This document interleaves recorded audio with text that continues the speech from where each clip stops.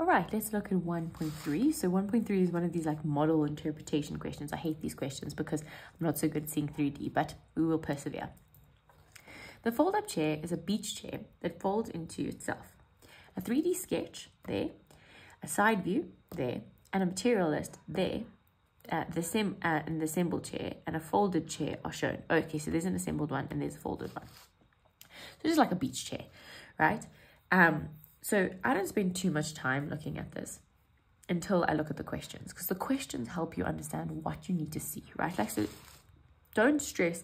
When I see this, it gives me heart palpitations, but let's rather just go into the question and do what we need to do. So use the information above to answer the questions that follow. Write down the total number of wooden items needed to assemble this chair. Okay, so when I'm looking at the total number, you should be thinking, okay, we'll go to the material list because the material list is going to tell us, right? So go here, material list.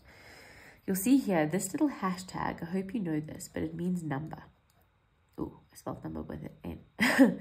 okay, so it's saying four of those, 13 of those, and one of those. So we just add all of those together. 4 plus 13 plus 1. Okay, um, 4 plus 13 plus 1. Do it in your calculator if you need to, but it is 18, right? So it is 18 items. Okay, great. Let's move on to the next one. Then it says, determine the number of cross pieces found on the seat, right? So when I was preparing for this video, I did this question incorrectly because I thought it was talking about the chair back, but it's talking about the seat, okay? So firstly, and then it says, so uh, found on the seat of three chairs. So you can't just be like, mm, this is how many you need for one. So let's count here. Uh, it's probably easier to look here. One, two, three, four, five, six. So I need six cross pieces for one chair. But then I need to times that by three because I need three chairs, right? So you're going to say six times three means I need 18 cross pieces. Okay, and because it's a three mark question, please show this, right? You see it's a three mark question? Show this because they will get a mark for that. Okay. Name the item in the material list with the longest dimension. Okay, so here's the material list. Let's look here for the longest dimension. I think it's at 66. 66 belongs to the chair support. Easy enough. Chair support. That was easy peasy. Okay. Identify which dimension of the chair support will support the thickness, will represent, sorry, the thickness of the wood. Okay, so there's the chair support.